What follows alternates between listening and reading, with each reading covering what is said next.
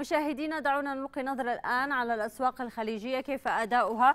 بورصة دبي ارتفاع 14 نقطة مئوية 14 نقطة من الارتفاعات مستويات 3504 نقطة. قد تجاوزنا مستويات 3500 نقطة. كنا دون هذه المستويات لكن قد تجاوزناها في هذه اللحظات سوق أبو ظبي تراجعات طفيفة 4583 نقطة. طبعا نحن قريبين من مستويات ال 4600 نقطة. هل سنستطيع تجاوز تلك المستويات أيضا؟ مؤشر القطري آه، على آه، تراجع السوق الكويتي. طبعا هناك ارتفاعات على السوق الكويتية عموما وعن مؤشر الكويت 15 آه، السيولة نوعا ما بعد حققت الأسبوع الماضي ارتفاعات قوية ارتفعت بأكثر من 50% بالمقارنة بالأيام الماضية ارتفاعات اليوم نتحدث تقريبا إلى الآن ب 10 آه، مليون دينار كويتي. نتحدث عن أنها أنها رفعت سقف الدين للقرض بنسبه ب 25 مليون دينار تمتد مدة القرض إلى 30 عاما. فبالتالي هناك ارتفاعات جيدة على المؤشر الكويتي.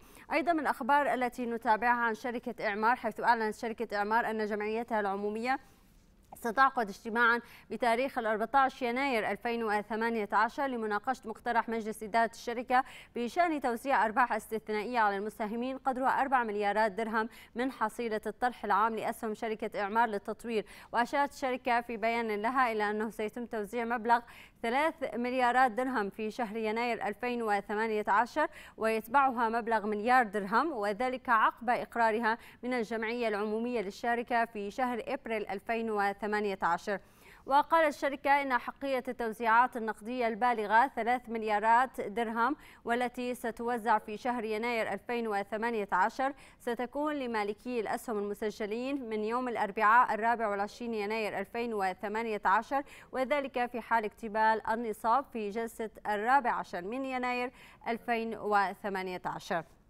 بالنسبة لسهم إعمال العقارية سهم على استقرار عند السبع دراهم و36 الآن على بعض من التراجعات تتحدث عن 14 من المئة في المئة. دعونا مشاهدينا الآن ننتقل إلى قياديات دبي. كيف أداء هذه القياديات في السوق دبي؟ عندنا لدينا دريك أنسكال تراجعات بأكثر من 2 في المئة. هناك إعادة هيكلة لتلك الشركة الوطنية للتبريد بارتفاع بأكثر من 2 في المئة. إعمار كما ذكرنا بعض التراجعات إعمار مولز بارتفاع ب 19 نقطة المئوية أرابتك متراجعة ب 17 نقطة المئوية عند الدرهمين و64 فلس. ننتقل إلى قطاع المصارف.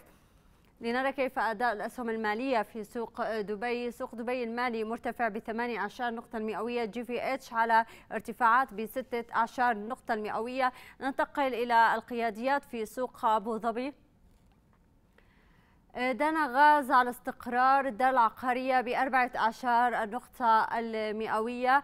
نتحدث عن درهمين و27 فلس. إشراق العقارية بارتفاع بأكثر من 1.13 نقطة المئوية. أبو ظبي للطاقة على تراجعات بواحد وسبعة عشر النقطة المئوية.